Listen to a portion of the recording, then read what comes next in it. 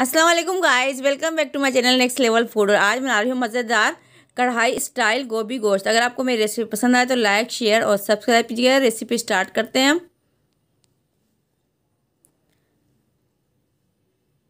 आधा cup oil लेंगे। इसमें मटन डालेंगे हमारे पास मटन है, ये मटन के साथ बना रहे हैं हम। कढ़ाई स्टाइल में बनाएँगे। गोभी गोश्त बहुत मज़े का बनेगा ये। हाफ़ के जी हमारे पास मटन है। ये डालेंगे इसके अंदर एक प्याज है। बारीक स्लाइस की वो डालेंगे इसके अंदर।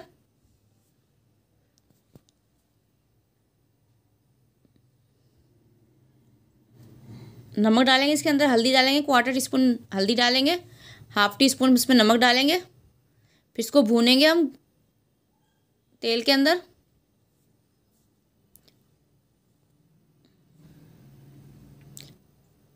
नमक डाल दिया इसमें half teaspoon quarter teaspoon हल्दी डालेंगे। तीन टमाटर है, बारीक चॉप किए हुए वो डालेंगे। बहुत मज़े का बनेगा ये गोभी गोश्त। कढ़ाई स्टाइल में इसका टेस्ट भी डिफरेंट होगा। गोभी गोश्त हमने वैसे भी डाली हुई, इसके अंदर रेसिपी दूसरे स्टाइल से। ये लहसुन, अदरक और हरी मिर्च का पेस्ट ये डाल दिया हमने इसके अंदर वन टेबल स्पून ये तीन टमाटर हैं स्लाइस में बारीक किए हुए, ये डाल दिया हमने इसके अंदर। इसके अंदर आधा गिलास पानी डालेंगे और उसको ढक के रख देंगे। ताकि गोश्त, टमाटर और प्याज के पानी में गल जाए।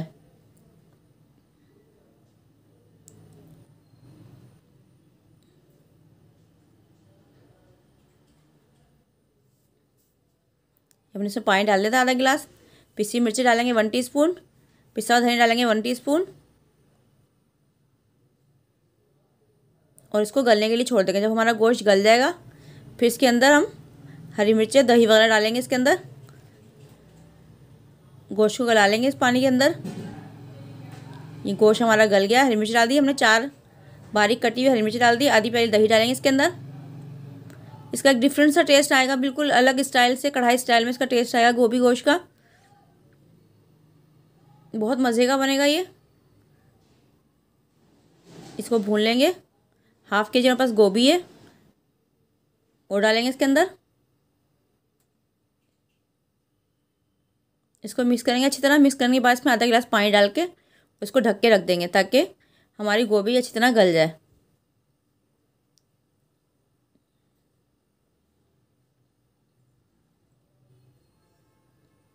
आधा गिलास पानी डाल दें इसके अंदर। अब इसको ढक के रख देंगे। फिर जब गल जाएगी तो हम इसमें कुटी हुई काली मिर्च डालेंगे वन टीस्पून काली मिर्च डाल दी वन टीस्पून इसको भून लेंगे, गोभी हमारी गल गई है, इसको भून लेंगे। भूनने के बाद इसमें हरा धनिया और पिसा गर्म मसाला डालेंगे। इसका पानी खुश्क हो जाएगा, फिर इसमें गर्म मसाला और धनिया डालेंगे और इसको डिश आउट कर लेंगे। ये पानी खुश्क हो गया है। हरा धनिया डालेंगे इसके अंदर। तीन से चार टेबल स्पून वन टीस्पून गरम मसाला गर्म मसाला डालेंगे पिसा हुआ। वन टीस्पून ये पिसा हुआ गर्म मसाला डाल दिया हमने इसके अंदर। ये हमारी रेसिपी तैयार हो गई है। कढ़ाई स्टाइल गोभी गोश ये आपसे कलर भी देख सकते हैं। अगर आपको मेरी रेसिपी पसंद आए तो लाइक शेयर और सब्सक्राइब कीजिएगा। अल्लाह हाफिज़।